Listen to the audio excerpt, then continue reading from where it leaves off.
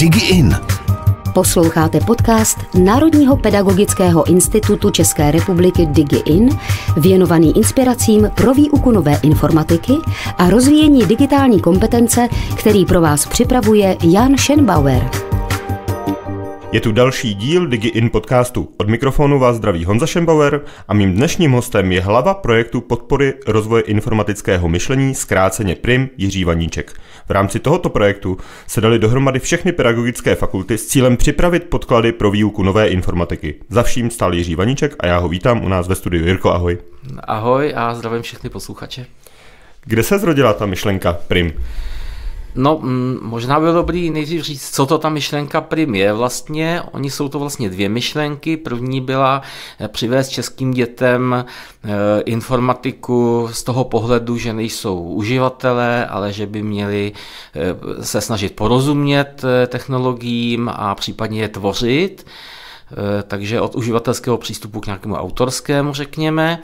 A druhá taková myšlenka byla eh, před eh, asi 18 lety, kdy se zaváděla eh, tehdy informatika jako povinný předmět, tak vlastně učitelé nedostali vůbec žádnou podporu z centra. Oni nedostali učebnice, žádná školení, prostě dostali dva, tři, dvě, tři stránky papíru a s tím museli vystačit. My jsme chtěli tedy, aby školy nezůstaly na pospas, aby ti učitelé dostali materiály, dostali učebnice, byly připravené nějaké školení, takováhle podpora, aby ten předmět mohl, měl nějakou šanci rozumně nastartovat. A ta myšlenka samotná, nebo ty zdroje financování, to eh, vzniklo jak? Tak ta myšlenka jakoby vznikala po dlouhá léta, řekl bych, v rámci takového uskupení expertů na dnešním NPI. Jmenoval se to eh, panel pro inovace výuky informačních technologií. Tam se scházelo kolem 15 lidí pravidelně několikrát za rok a diskutovalo se o tom, jak inovovat tu výuku a nakonec se dospělo vlastně po různých debatách k takovému modelu. Eh, to financování eh, samo o sobě šlo z ministerstva školství, které vypsalo vlastně projekt z evropských peněz na eh, podporu rozvíjení informatického myšlení a digitální gramotnosti, aby naplnilo vládní eh, program eh, strategie digitálního vzdělávání do roku 2020. Takže to vypsalo, my jsme se do té soutěže přihlásili. Jako jeho Česká univerzita? My jsme se tam přihlásili jako konzorcium fakult mm-hmm. pod vedením jeho České univerzity a to konzorcium všech pedagogických fakult, které vychovávají nebo připravují učitele prvního stupně. A to prvního stupně bylo důležité, protože jsme chtěli, aby se informatika učila učila kvalitně už od prvního stupně základní školy. Jak se má učit na prvním stupni informatika? Eh, informatika na prvním stupni. Protože se... spousta rodičů by Aha. řekla, informatika přece ty děti nepotřebují jako umět s počítačem nebo dělat nějaký algoritmy, jsou na to ještě moc malí. Tak eh, proč zrovna v ten první stupeň a jak se tam má učit ta informatika podle tebe? Tak eh, když si porovnáme, mm, já nevím, informatiku s matematikou, která se taky učí na prvním stupni a na začátku jsou to nějaké počty, ale už, já nevím, ve druhé třídě se dítě dozví, že 2 plus 3 dává stejný výsledek jako 3 plus 2 a že to platí pro všechna čísla a to už je nějaké uvažování nad všemi, nad všemi čísly. Podobně ve fyzice ve druhé třídě, ve třetí, nenazývá se to fyzika, ale eh, je to fyzikální obsah, učí se o magnetech, že se přitahují a podobně. To znamená, na té úrovni chápání těch dětí můžeme přinášet nějaké věci jako ovládat někoho jiného, nějakého robůtka, eh, třeba na obrazovce, hrát něco, co připomíná dětem eh, počítačovou hru, ale přitom oni přemýšlí, eh, sestavují postupy, učí se abstrahovat a podobně. A co třeba téma bezpečnosti? Řeší se to už na prvním stupni také? Téma bezpečnosti v současném pojetí eh, je rozděleno jaksi mezi dva obory, by se řeklo. Eh, taková ta, taková ta bezpečnost z pohledu, co to dělá, jak to funguje, tak to je věc informatiky pro starší děti, ale věc třeba mezilidských vztahů nebo kyberšikeny a podobně, to je záležitost něčeho jako občanská nauka, vlastně jako občanská výchova. To znamená, že tyto, tyto oblasti uživatelské přecházejí podle té eh, nové představy na všechny ostatní předměty. Takže děti se učí eh, pracovat s počítači napříč různými vyučovacími předměty a přitom eh, se dotýkají té látky, která se týká té vzdělávací oblasti jako jsem teď řekl, třeba příklad té občanské výchovy. Tam do toho můžu zařadit i nějaká třeba autorská práva a podobně. Ty jsi zmínil, že jste tu, to, vyhráli s konsorciem fakult. Jak těžký byl dát dohromady všechny ty fakulty? No ku podivu ani ne, je pravda, byl to tedy nápad našeho bývalého pana děkana, aby se všechny fakulty podílely. My jsme to posléze akceptovali a posléze zjistili, že to je vlastně dobrý nápad. E, tím jádrem byly čtyři fakulty, které v jednom doktorském studijním programu připravovaly, e, řekněme, mladé vědce, mladé didaktiky, informatiky a e, další dvě fakulty, se kterými jsme měli jako výborné nějaké profesní vztahy a tak dále. To znamená, to jádro bylo vlastně šest fakult, které se domluvily, které si rozuměly a pak už zbývalo jenom přidat vlastně ty tři, které eh, doplnily eh, všechny ty fakulty, které připravují, eh, připravují učitele, což mělo nakonec velmi zajímavý efekt, protože vlastně všechny fakulty, které se účastnily, tak se zavázaly, že začnou připravovat své učitele své budoucí učitele prvního stupně a budoucí učitele informatiky na tuto novou informatiku. To nikdo normálně vysoké škole nemůže nařídit, že jo, tam probíhají nějaké akreditační procesy, ale tento projekt to umožnil a financoval, aby eh, se na všech fakultách vlastně začali takhle připravovat noví učitelé. Kolik lidí se do toho projektu zapojilo? Bylo to tak, že teďka, kolik lidí tvořilo ty učebnice a kolik lidí celkem vlastně na tom projektu pracovalo? No, eh, celkem bychom napočítali přes 400 lidí, kteří pracovali ale třeba jenom na částečný úvazek někdo eh, měl třeba eh, jenom ověřit nějakou část učebnic, eh, lidí, kteří pracovali trvale po tři roky, těch bylo několik desítek. Co se týče samotných učebnic, tak těch vznikalo paralelně 12, to znamená 12 autorských týmů po třech lidech, to byl základ a k těm třem lidem patřili dva učitelé přímo ze školy, kteří v tu chvíli, kdy ti autoři napsali nějakou kapitolu té učebnice, tak ji hned vyzkoušeli, autoři tam seděli, dívali se, dělali si poznámky a připravili vlastně nultou verzi. A po další dva roky tyto takto připravené, řekněme, beta verze těch učebnic šly do škol, kde e, bylo asi kolem 150 učitelů, kteří tyto učebnice během těch dvou let e, ověřovali a znovu dávali zpětně připomínky autorům, ty to zase zpracovávali, takže to byl běh vlastně na dva a půl roku a na třikrát to bylo ve třech fázích. Dalo by se říct, která z těch učebnic se podařila nejlíp zpracovat, nebo se to, se Těž, to nedá takhle říct? Těžko hodnotit eh, učebnice, když jsem já autorem jedné z nich. Eh, to, ať posoudí... měl říct právě, že ta tvoje byla eh, to, to ať posoudí jiní, nicméně já jsem s nimi spokojen, hlavně jako z pedagogického pohledu. Oni měli, oni naplnili naši vizi, že přinesou vlastně informatiku na nějakých hravých aktivitách, na něčem tvoříme, ale přesto na přemýšlivých aktivitách, kde děti mají řešit problémy, objevovat něco, tedy žádné výklady, žádné přednášky, nic takového, žádné něco se učit na paměť, něco se učit o informatice, takže ne učit se o programování, ale programovat. Třeba velmi jednoduché věci, ale přesto prakticky ve spolupráci je děti třeba ve dvojicích a podobně. A to ty učebnice eh, prakticky všechny skvěle naplnily, takže mohou sloužit i poté, když už nebudou aktuální, třeba se stane, že některá robotická stavebnice se přestane vyrábět a dodávat, přijde nová, inovovaná, přesto ty učebnice eh, mají v sobě eh, jakoby ten pedagogický přínos eh, v tom, že si můžu vzít tuto učebnici, trochu ji upravit a používat i na, i na jednou třeba robotickou stavebnici, takže mohou nějakou dobu vydržet především právě z tohohle pohledu. Ty sám jsi autorem jedné z těch učebnic. Kde jsi hledal inspiraci třeba při tvoření té učebnice? No, to byly moje zkušenosti, tak já učím tohleto programování budoucí učitele do 20 let, takže eh, to opravdu a v různých prostředích, takže to bylo na sbírání zkušeností. Vybral jsem si skvělé dvě kolegyně, eh, které mě výborně doplňovaly. Jedna mě všechno kritizovala a druhá mě to doplňovala, takže když jsem něco vymyslel, tak jsem nejdřív byl správně skritizovaný za to, když jsem to vymyslel špatně třeba, takže v tom, v tom mě skvěle pomáhali a, a v tom přístupu k té nové informatice jste, jste se inspirovali taky někde třeba v nějakém ten, státu? Ten přístup vycházel eh, ze dvou zdrojů hlavních, řekl bych. První byl takový, že jsme se podívali do ciziny a našli jsme Slovensko. Našli jsme Slovensko jako stát, ve kterém už informatika tímto způsobem se vyučovala přes 10 let, takže děti si učili programovat, eh, když už byli roboti, taky eh, jako ovládat nějaké roboty a podobně. A měli tam systém školení učitelů, měli už tam učebnice nějaké, velmi pěkné mimochodem, dokonce autory těch některých učebnic jsme potom požádali a oni se stali taky e, členy vlastně toho týmu projektu a vytvářeli některé učebnice, takže tam máme autory i ze Slovenska, troufnu si tvrdit nejlepší. A druhým takovým zdrojem e, byla mezinárodní soutěž Bobřík informatiky, zrovna v těchto dnech eh, běží její 15. ročník na školách a tam jsme se setkávali, řekněme, nejdříve s celou Evropou a poté s celým světem. Dneska tu soutěž organizuje kolem 60 zemí na světě.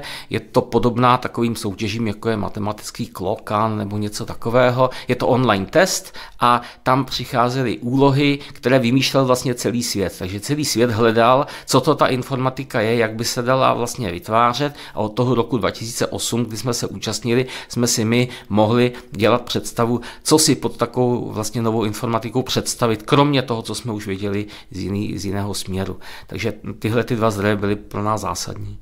Posloucháte DigiIn podcast dnes s Jirkou Vaničkem, autorem projektu Prim. DigiIn podcast. Jak dlouho celý ten projekt Prim trval? Projekt Prim trval tři roky.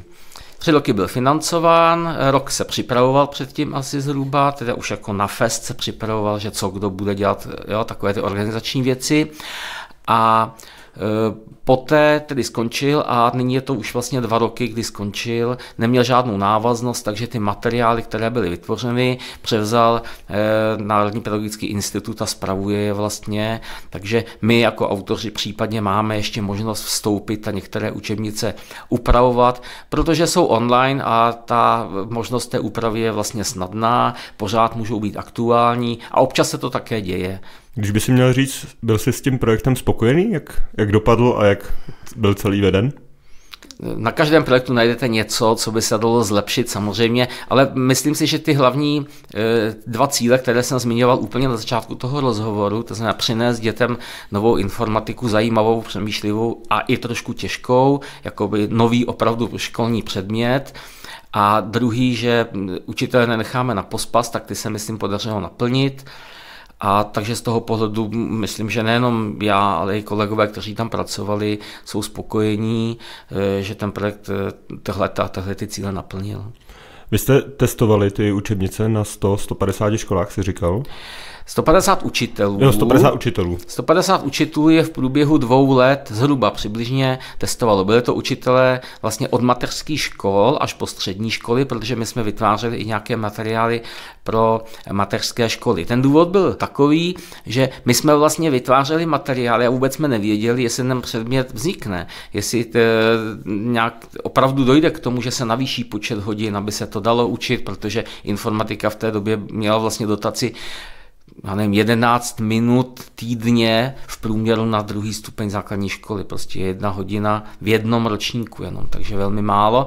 Takže eh, to jsme nevěděli, jak vznikne, nevěděli jsme, co do toho bude zahrnovat, protože rámcové vzdělávací programy pro tuhle oblast vlastně vznikaly v průběhu toho, nebyly hotové, když eh, projekt eh, startoval a když máte nastartovaný projekt, tak on už musí být nějak schválen a už není možné z toho harmonogramu nějak si najednou přidat, že ještě uděláme dalších pět učebnic, protože na to samozřejmě potom nebyly, nebyl rozpočet a tak dále.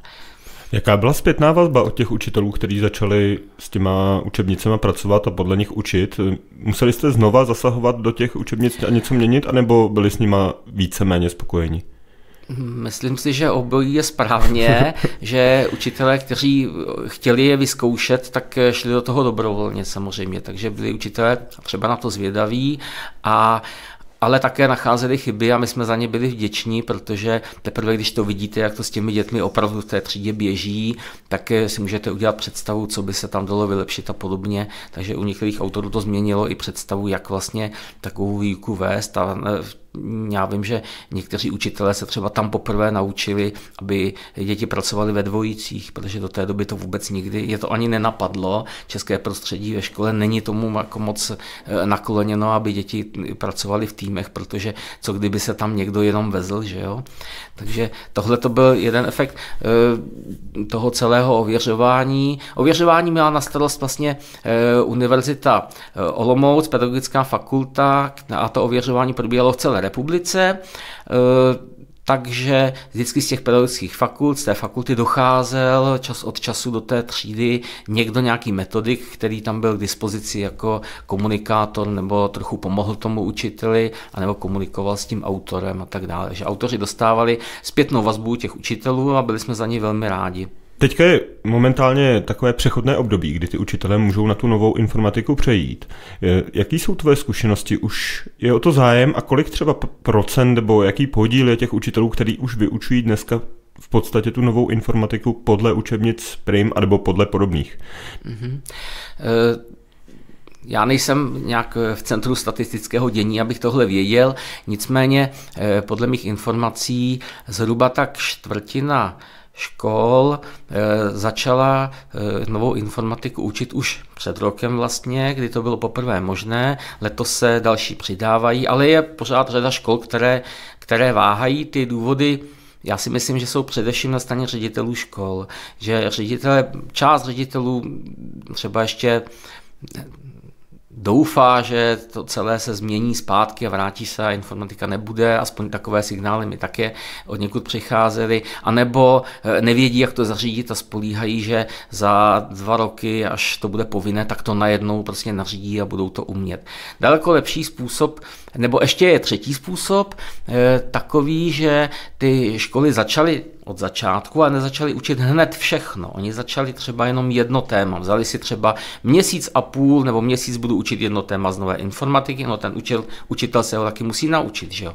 Pak si dá něco z té staré a takovým způsobem eh, postupně během těch dvou, tří let si vlastně doplní, eh, doplní tu výuku aby potom učil novou informatiku eh, ve všech těch, ve všech těch předmětech nebo ve všech těch ročnících. A to mně připadá jako nejrozumnější způsob, protože ten učitel není pod takovým stresem, není taky na něj vyvíjen nátlak v tom smyslu, že eh, teď musíš dělat toto a za rok budeš muset dělat něco jiného. Takže ten, ten, ten polštář, který takhle vznikl, mi podle mého názoru velmi rozumný k tomu, aby eh, školy, které eh, jejich ředitele, řekněme, přemýšlí eh, dopředu a mají ty učitele aspoň trošku k dispozici, tak je vedli k tomu, aby na tu no, novou informatiku postupně přicházeli. A jak jsou na tom školy z hlediska kapacit? Myslím tím teďka těch personálních. Jak jsou na tom s informatikama dneska? Eh, není to lepší, než bylo předtím, a tehdy to bylo eh, také slabé, protože eh, informatika najednou, najednou potřebujete čtyřikrát víc nebo třikrát víc učitelů informatiky během tří let získat. Že Ty nejsou nikde po ruce. U nás na fakultě vychází průměrně 10 studentů maximálně ročně. My to vnímáme jako, jako důsledek toho, že na středních školách se vlastně informatika neučí, tam se učí pořád to ovládání počítače, takže ty studenti vlastně nevědí, co informatika pořádně je, tak se nemůžou eh, rozhodovat eh, jít dělat tuto informatiku. Když potom přijdou na vysokou školu a zjistí, že informatika je programování, tak jsou někteří v šoku. Poslední dva roky se to zlepšuje, ale to bude ještě nějakou dobu trvat, než ty učitelé projdou tou vysokou školu, aby se z nich učitelé stali. Takže věřím, že i na ostatních eh, vysokých školách se eh, učitelé produkují, ale nikdy to nebude takový počet, aby okamžitě eh, zaplnili velkou jako mezeru na trhu. To znamená, že je na školách, na ředitelích škol, aby vybrali učitele ze svého středu, těm dali plnou podporu, nejenom časovou, ale i finanční nějakou, posílali na školení, zakoupili jim věci, které ti učitelé potřebují a e, nechali je, aby se postupně s tím e, seznamovali, s tím, e, s tím obsahem výuky informatiky. A tenhle ten způsob nám připadá, že jako z tohohle pohledu nejlepší. Dokonce i učitele prvního stupně je lépe vybrat z učitele prvního stupně. On nemusí být žádný informatik. My jsme ty učebnice psali tak, že je bude e, používat člověk, který vlastně není vzdělaný v informatice. Takže učitel prvního stupně ve čtvrté třídě může e, si vzít nějakou učebnici, která je takhle napsaná, podívat se, a tady se bude programovat nějaká, nějaká postavička, bude chodit někde v nějakém bludišti a my jí budeme dávat příkazy, kam má jít a podobně. Eh, takže něco takového eh, si ten učitel, pod tím si může učitel, pod tím konkrétním si učitel může představit, eh, co by vlastně v té třídě dělal a takhle ty učebnice vytvářené jsou speciálně pro první a pro druhý stupeň základní školy, aby to bylo tím učitelem rychle uchopitelné. Každá učebnice má, řekněme, velkou metodiku, takže ten učitel, když si dá ten čas, potřebuje na to čas a když si ho dá, tak se v ní opravdu dočte spoustu věcí, jak to učit, na jaké chyby si dát pozor a tak dále. Jak doporučuješ přejít na tu informatiku? Jak jsi říkal, že tahle ta informatika je trošičku těžší, tak já jsem se o tom bavil i s Danem Lesnerem a jak eh, doporučuješ to vysvětlit těm studentům, že teďka už ta informatika bude trošičku jiná, protože Dan Lesner mi říkal, že ta komunikace s těmi studenty je v tomhle tom ohledu hrozně důležitá. Jestli mluvíme o studentech učitelství, ne, mluvíme o studentech běžných, jako, kteří jako žácích škol. žácí škol. Aha, takže uh, no, žáci škol. Protože porovna... oni to brali jako takový pohodový předmět, ve kterým si udělají táme prezentaci a teďka najednou u toho musí přemýšlet a to není úplně jednoduchý jim vysvětlit.